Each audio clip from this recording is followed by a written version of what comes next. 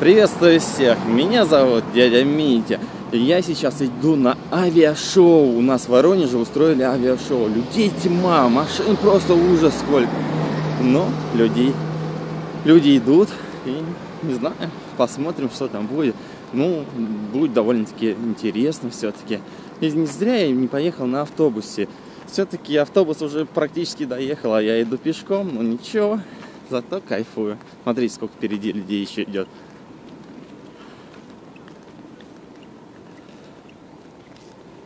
Вот так вот. Некоторым автовладельцам не хочется ходить, и они едут вон там, по пыльной-пыльной дороге. Ну, тоже. Че, лень? Все-таки двигатель прогресса. Так что вот так вот. Ну, я думаю, то, что я все-таки получу. Я хотел в том году сходить на авиашоу в Воронеже. У меня, к сожалению, не получилось, так как я получил небольшую травму. Не мог ходить. Но это уже, ладно, лирика. Теперь мне интересно, как все-таки там будет. Блин, у людей будет очень много. Я уже чувствую то, что там просто кошмар какой творится. Ну, ничего. Дойдем, посмотрим.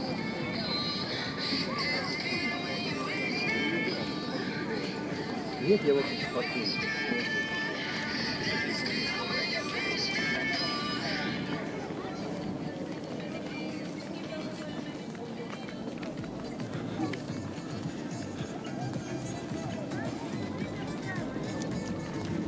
Ну вот я нахожусь на территории аэропорта. Сейчас посмотрим, как здесь сделан пропуск. Посмотрим, павильончики такие интересные, довольно-таки всего как бы замечательно. Все.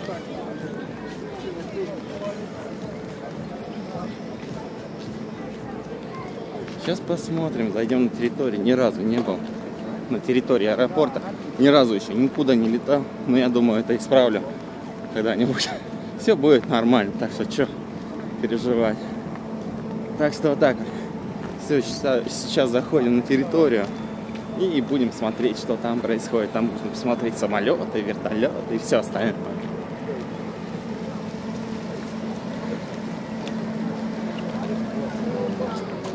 Вот там полетел уже парашютист какой-то прикольный. Так он спикировал вообще жестко просто. Но так, проходим. Будет. Уже показывать взлет первая смена.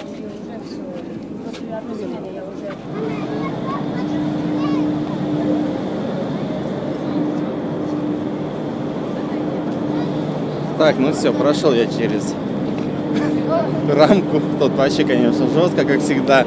У нас везде все проверяет. И насчет моего супер дрюгер стабилизатора всегда все придираются.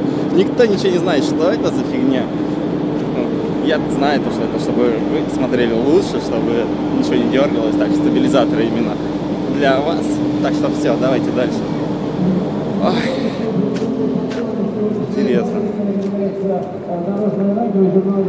А, так.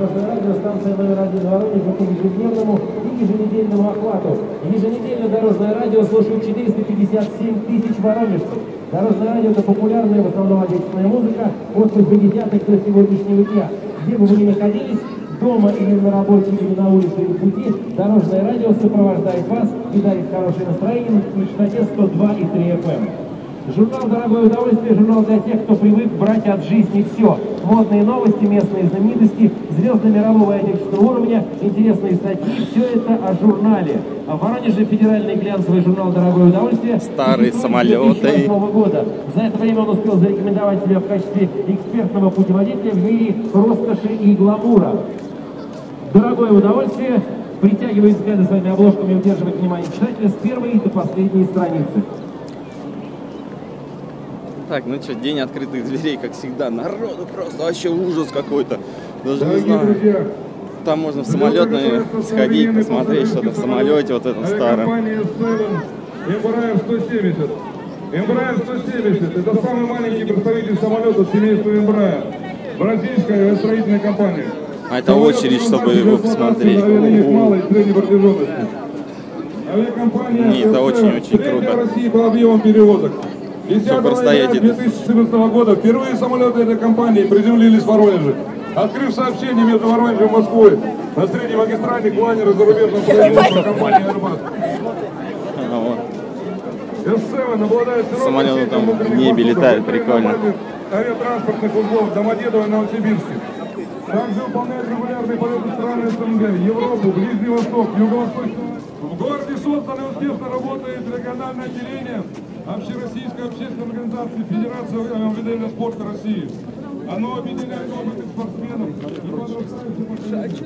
Основная цель организации – привлечение людей всех возрастов и социальных групп к занятиям авиамобильным спортом. Цель Федерации – воспитание технической культуры и техническое просвещение населения Воронежской области. В Воронежской области работает более 10 местных на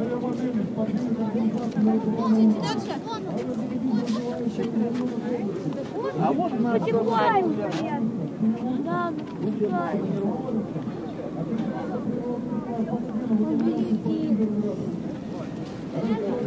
Ну что, самолеты вообще какие-то игрушечные. Ужас. Так, дальше смотрим.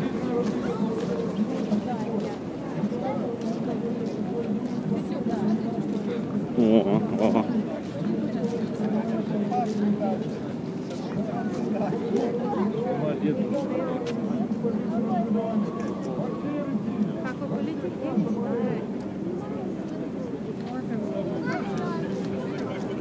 знаю.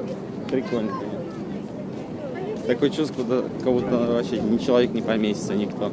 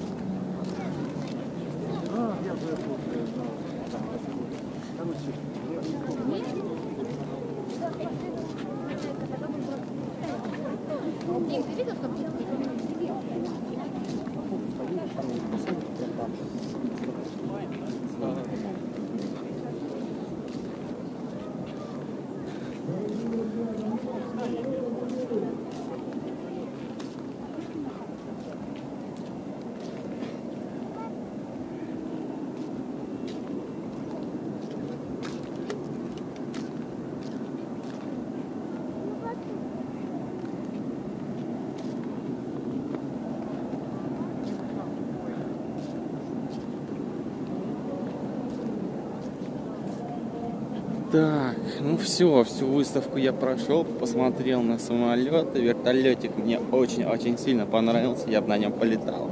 Вообще прикольно было бы на самом деле. Так, что-то тарахтит, не могу понять, то ли на посадку идет, ни хрена не видно. Короче, вот так вот.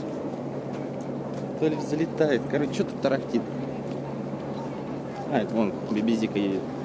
Так, ладно. Че, всю экскурсию я прошел. Говорят, тут будет авиашоу, не знаю, что-то 10 часов, пока что-то не намеков.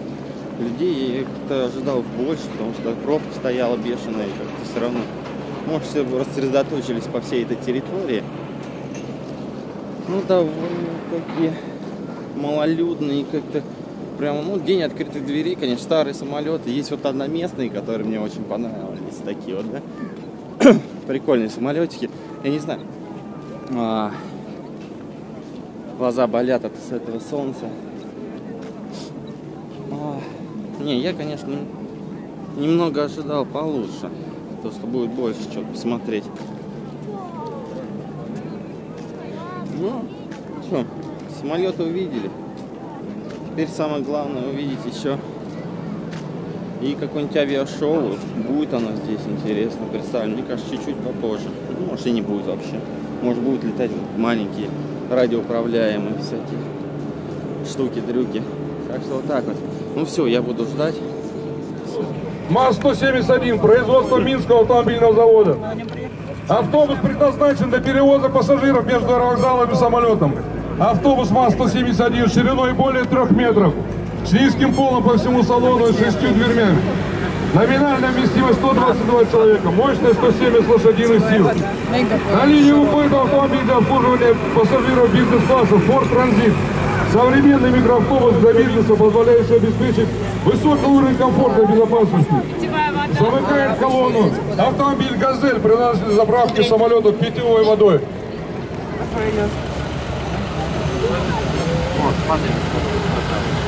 Высший пилотаж показывают сотрудники службы организации переводов.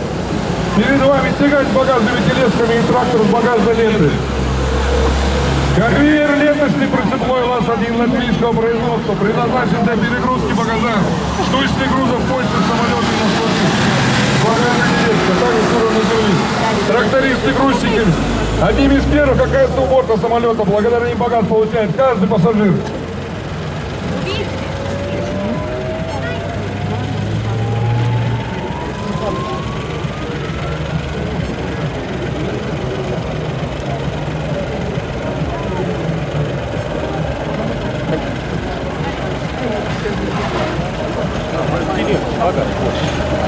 Дорогие друзья, вот они эти два кости трактора. Всю технику, которая будет прошла, можно будет потрогать, пощупать на, на площадке правого перрона.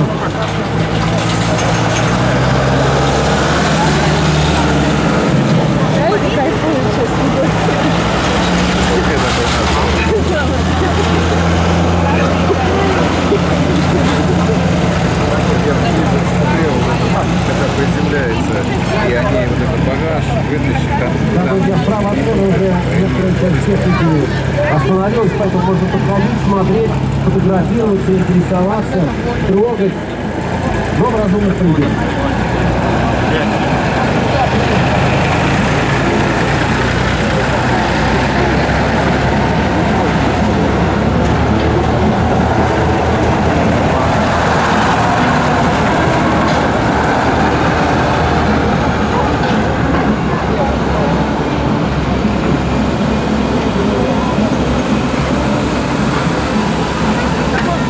Дорогие друзья, поприветствую водителей.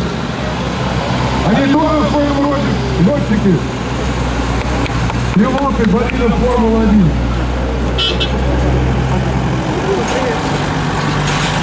Наша техника занимает место. Так, ну что, вся техника прошла, как я понимаю. И скоро начнется авиашоу. Сейчас мы пойдем посмотрим поближе Уважаемые гости, внимание! Так, внимание. У нас готовится к посадке бой самолет Boeing 757 авиакомпания Air, Вот. прибывающий к нам из солнечной Турции, с Анталии. Ура! Он про такие и говорил самолет. Мы все посмотрели, как самолет взлетает, как приземляется. Сейчас посмотрим технику, которая проехала вся. Посмотрим, мне вон тот интересный, конечно, прикольно, здоровая техника.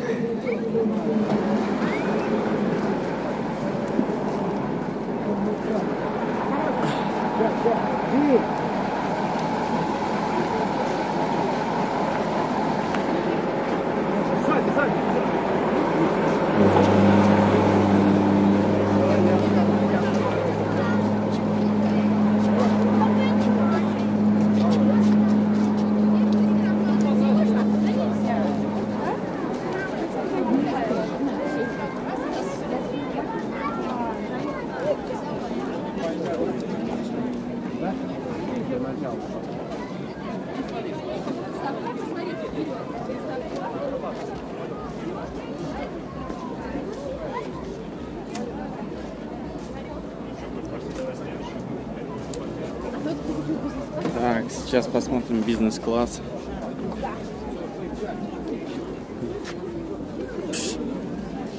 А, обычный микроавтобус. Газель.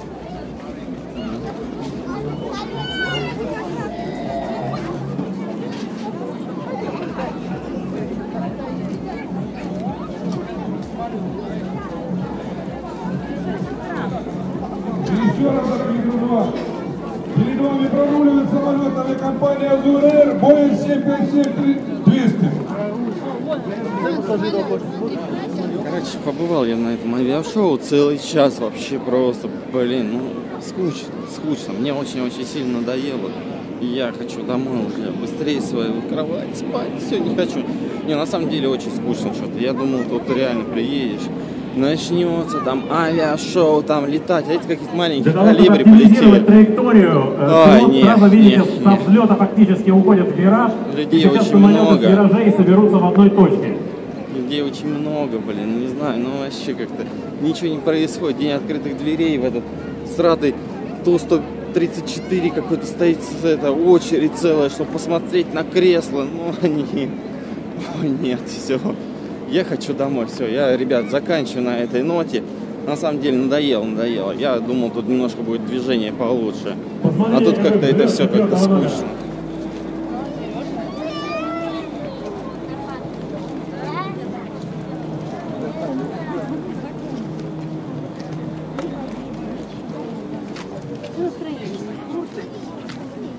Ничего. Сейчас добираемся.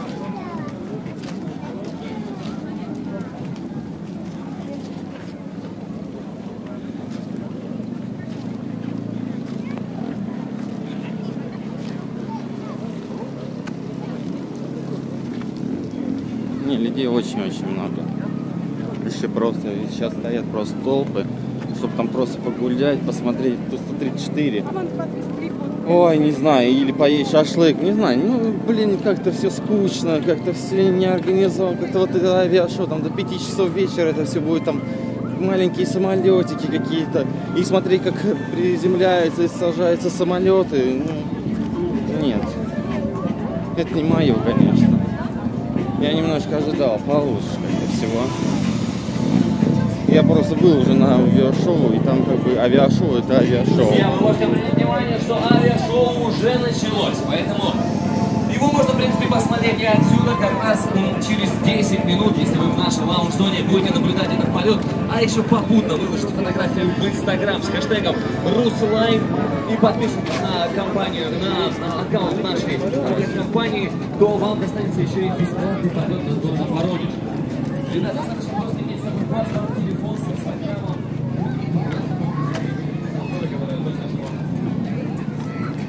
Так что все. Люди все идут и идут. Ужас, конечно. Не знаю, может я чего-то не дождался, может это все потом начнется, может я рано приехал опять же, я не знаю, короче. Ну целый час, я даже полтора часа тут провел, и ничего не происходило, кроме там выставки техники какой-то и все, и прогулки по аэропорту. Больше я ничего не увидел. И сейчас буду возвращаться все-таки. Надоел, надоел. Больше я сюда, наверное, не приеду. И вам не советую никому. Маленькие самолетики смотреть, это внимание. Вот стрижи, видите, вот это я люблю. Во всякие бомбардировочки. Вот это кайф. Так что все.